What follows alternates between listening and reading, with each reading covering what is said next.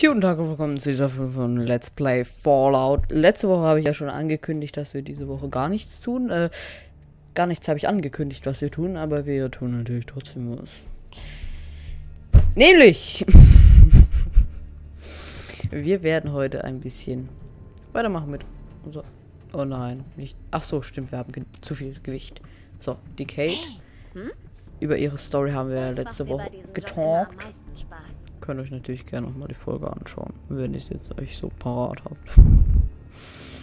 ähm, die Kate, die kriegt jetzt erstmal, wie viel Schrotmunition habe ich gerade? Null. Ja, Schrotflinte muss ich dann auch nicht mit mir rumtragen, dann kann es ruhig die Kate machen.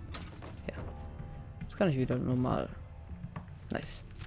So, jetzt kann ich wieder normal rumlaufen hier. Ähm. Wie weit bin ich gerade in der Quest? Muss ich mal kurz schauen. Höre dir Ritter. Ach so, das Holobad sollen wir uns anhören. Ritter Estlins. Estlins. Geiler Name. Wenn ihr auch ein paar Freunde habt, die Ritter Estlin heißen. Das heißt wahrscheinlich dein Estlins Holoband, oder? Nein. Da muss ich zu R runter. Dann ist vielleicht. Ja, Ritter Estlins Holoband. Zack. Easy. Ritter Terra Esplin, Stählerne Bruderschaft, Erkundungsteam 429 Alpha, Seriennummer 3431. Es ist drei Stunden her, dass ich meinen Notrufsender aktiviert habe. Noch immer keine Nachricht vom Paladin oder Ferris. Ihr Ziel war die Satellitenstation an der Küste. Vielleicht sind sie außerhalb der Reichweite. Meine Befehle lauten, diese Position um jeden Preis zu halten. Die gesamte Anlage wurde überrannt. Lange wird die Tür nicht mehr halten. Ich finde, während solchen Wartezeiten könnten sie ruhig das Holoband weiterlaufen lassen. Weil ich will es mir ja anhören. Und während den Wartezeiten habe ich eh nichts Besseres zu tun, als mir diese schönen, super gemachten, zombie-ähnlichen Ghoul anzuschauen. Vor allem den finde ich. das ist. oh Gott. Ich finde es schön, äh, bei Skyrim gab es, das siehst du, da kann, hier kannst du die Models. Sir, Es war mir eine Ehre.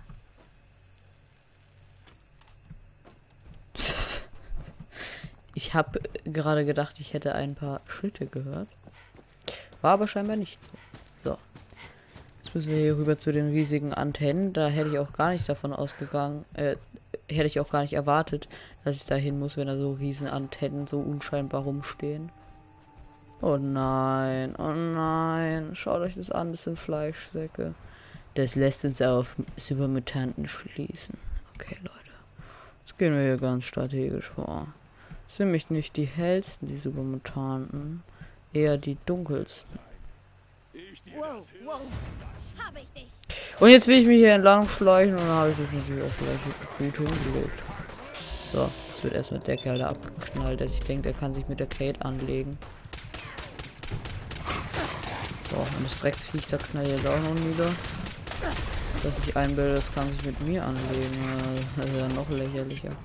Oh, scheiße. Nein! Renn! Renn, renn, renn, renn! Nein, nein, nein, nein, nein. Nein, der scheiß Supermutanten Selbstmörder. Scheiß auf alles. Renn! Das muss doch explodieren, das Scheißteil. Warum habe ich so wenig AP? Nein. Der explodiert jetzt gleich und dann sterben hier alle. Nein. Warum kann ich nicht weiterlaufen? Scheiße. Äh, ihr müsst wissen, der Supermutantenmörder, Selbstmörder. Ja, so ein bisschen selbstmörderisch drauf. Und wenn der mir zu nah kommt, dann sprengt er sich. Drüben ist er. Blöde Wichser. Renn! Was soll denn das? Der sprengt sich jetzt gleich in die Luft. Kann ich nicht auf seine Bombe zielen, die er da hat?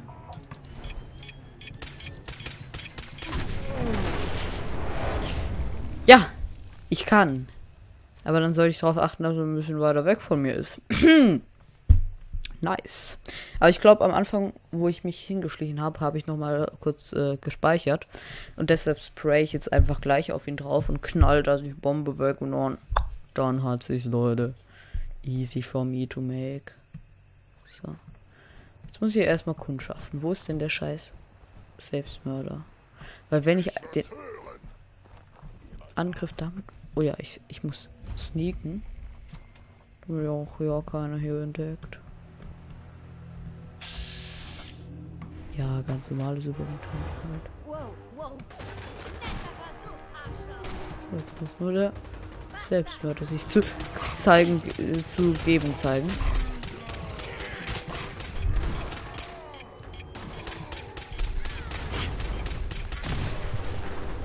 Ja, er hat's getan. Der blöde Wichser, alles gleich,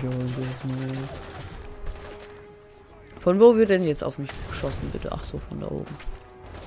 Den besuchen wir doch mal, Leute. Oder ich werde dahin. Und das tue ich auch. So, und jetzt schauen wir, wer hier am nächsten an mir dran ist. Ach, der da oben. Ja, aus der Entfernung treffen wir ihn halt schlecht. Mist begünstigt. Okay, jetzt stehen wir hier gerade ziemlich im Kreuzfeuer. Wir müssen auf unsere TP achten. Aber für so ein paar Supermutentchen, da reicht's doch immer. Mit ihren gammeligen Dreckswaffen, Alter.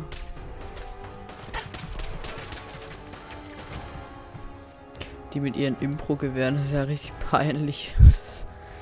Zack. Rein. Ich weiß auch nicht, wo den ihr scheiß Granatenlauncher rumrennt.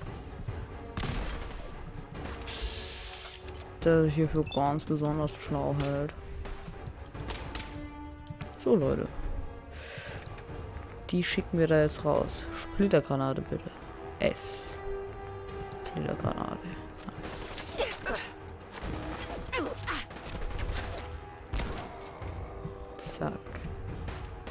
Okay, der war jetzt ein bisschen schlau und ist weggerannt. Aber dafür kriegt er jetzt in den Tor so Schaden reinge reingehaut. Ja. Aber hart terminiert habe ich den Part. Und dadurch, dass ich hier so Ego-Shooter-Style rumlaufe, hat er auch gar keine Chance gegen mich zu gewinnen. Weil er dann ganz oft umziehen muss. Jetzt sind schon wieder sieben Minuten vergangen. Und ich fahre hier nur mit den Super Mutants. Ist natürlich entertainend, Leute. Allemal. Weil ich natürlich so geile Ego-Shooter-Fight-Skills hier habe. Aber dennoch ein bisschen Abwechslung hier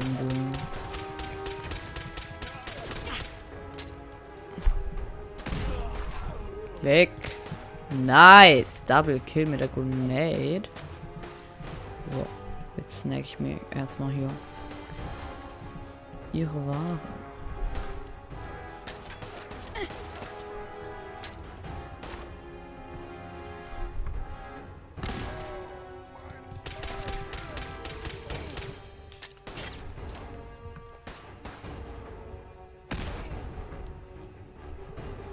Genau. Er ist weggerannt. Hm, ich glaube, das ist selbst nicht. Weg. Und dann treffe ich im Wetzmodus keinen Schuss. Ja, nice. So. Strahlung widerstehen. Das brauche ich gerade nicht, den Buff. Dann gönne ich mir die gegrillten Red Kakerlaken und eine Köderkeule. So, Leute. Das wird aber hier ein bisschen eskalationsmäßiger. Das, wo ich gleich voll habe. Ja, ich blöde Arschloch da aus seiner Deckung raus. Renniger. Granaten sind schon sehr mächtig. Und vor allem, wenn man sich ohne Helferin, ohne Gehilfin, weil die sich gerade woanders versteckt, im Nahkampf solchen Viechern gegenüberstellen muss. So, jetzt habe ich die Schnauze voll, Leute, Leute. Leute, bitte. Jetzt gibt es die Powerfaust in die Fresse. Zack. Zack. Das ist meine Lieblingswaffe, Leute. Die hat so Power. Ich habe vier Mini-Atombomben dafür verschwendet, um Swan umzubringen, der diese Waffe hier hatte. Oh, super. Das brauche ich jetzt. Nein, natürlich ist sie hier viel stärker, meine kleine Waffe. Die ist e extrem, extrem stark. Zack. Zack. Und dann ziehen die immer ihre Nahkampfwaffen, vor allem bei Supermutanten nehme ich das immer. Eigentlich habe ich so gedacht, oh scheiße, die sind doch richtig stark, die machen mich doch im Nahkampf fertig, aber machen sie überhaupt nicht. Die Spruchstellen. Die sind nämlich easy für, für mich to kill.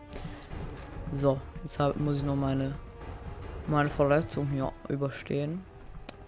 Und dann war es schon. Jetzt habe ich das ganze Lager hier aufgeräumt im Alleingang. so, und jetzt muss ich wahrscheinlich nach irgendwas passendem suchen. Zum Beispiel den Supermutantenhahn. Ich jetzt auch gleich an. Schön wäre es, die kann man nämlich nicht anziehen, leider. So, jetzt darf ich hier erstmal auf jedes dieser Funkgeräte hochklettern. Schauen, ob da was los ist. Das sieht geil aus, dieses Riesenfunkgerät mit einem Blutsee. Oh. Schon geil. Ja, das ist kein Müll. Scheiß Kate, hat keine Ahnung. Dreckskoks Nude. ähm, ich kann ja mal wieder ein bisschen über sie reden. Also sie hat halt Drogenprobleme und ich soll mit ihr zum Vault 95 gehen. Und das werden wir natürlich auch noch antreten. Das Problem ist, äh, desto weiter südlich, also hier auf der Karte unten man ist, desto gefährlicher sind die Gegner. Und wir befinden uns gerade ziemlich weit oben. Ähm, bis hier unten habe ich mich vorgekämpft. Aber wenn ich jetzt so weit nach unten gehen muss, sind wir ja schon fast am maximalen Härtegrad, Leute. Und das ist dann nicht so angenehm. Ich meine, klar. Mhm. Wir haben das Richtige gefunden. Sehr schön. So, jetzt schlafe ich erstmal. Weil beim Schlafen regeneriert man die Punkte. Und deshalb, immer wenn es keinen Kampf gibt, regeneriere ich per Schlaf meine Punkte.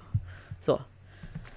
Jetzt muss ich mir dem seine Sachen anhören, oder wie? Das wird ja immer besser. Immer abwechslungsreicher vor allem. Leuchtfackeln?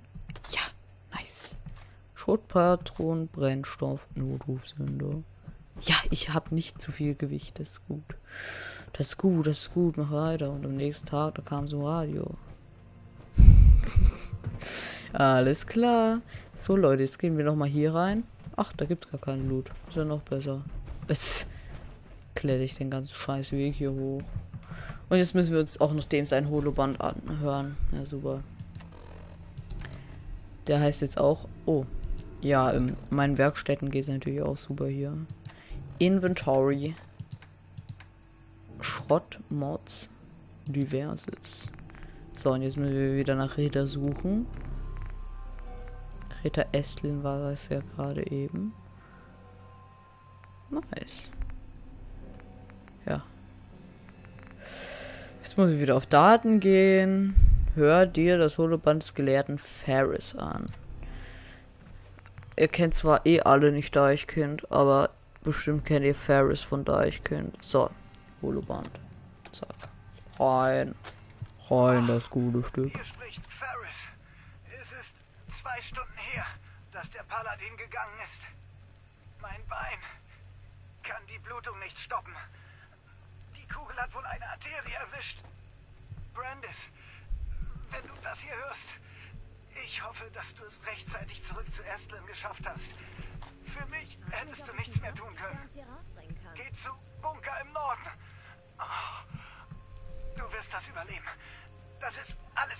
Oh, oh, alles, was zählt. Und jetzt muss ich auch zum Bunker, oder wie? Aufklärungsbunker Zugang. Ja, nice. Das wird ja immer besser. Vom einem Schau. Nice. Nice, nice, nice. Raus. Danke. Leute, bitte. nice. Okay, Leute. Jetzt geht's hier erstmal weg. Jetzt habe ich nämlich die Straße voll von der Scheiße. Puh. Jetzt dürfen wir auch noch zu dem Bunker. Und ich glaube, das machen wir in der nächsten Folge. Vor 6. Oh, scheiße. F5 erstmal. So, hier. Hier ein Pilze. Wir haben jetzt gute Chancen, da drüben einen Fusionskern oder eine, ein Gerät abzugreifen. Spielzeug außerirdischer. Ach, scheiße, hier war ich schon. So ein Scheiß. Radar-Problem bei County Crossing. Sprich mit Preston Garvey. Genau, ich hab's abgeschlossen. Sprich mit Preston Garvey und bekomme die neue äh, Quest. Sprich mit Preston Garvey. So, da drüben sind so blöde Stechflügler. Die sind mir ganz sympathisch. Ich habe schon sehr sehr gute Augen. Das ist das auch einfach so okay, ne? Sie werden nach uns Verpiss dich. Nice. Stechflügel-Zeugs ist richtig nahrhaft und deshalb freue ich mich immer, wenn ich ein bisschen davon was abbekomme. Und deshalb freue ich mich über Stechflügler, auch wenn ich mich gerade sehr lappig angestellt habe. So, wir sind noch nicht mal im 100 Meter Radius. Ich weiß nicht, wie weit wir noch... Was ist das da drüben? Das sieht nach einem Bunker aus, Leute. Das ist eine richtige Bunker Bunkeranlage. Ist ja richtig episch. Ne, das ist wirklich ganz episch. Das ist gar nicht mal so schlecht. Und hier ist ein Landeplatz. Ey, Leute, da wird der erste nächste Word, der, äh, der first Word Bird landen. Mal, mal so einen kleinen Blick riskieren. Hm. Scheiße, da oben läuft ja noch. Nein, nein, nein, nein. Fang doch nicht an zu kämpfen. Oh, scheiße, Leute. Was soll daraus noch werden? Wir sehen uns in der nächsten Woche, wenn, wenn ihr seht, was daraus wird. Bis dahin. Ciao.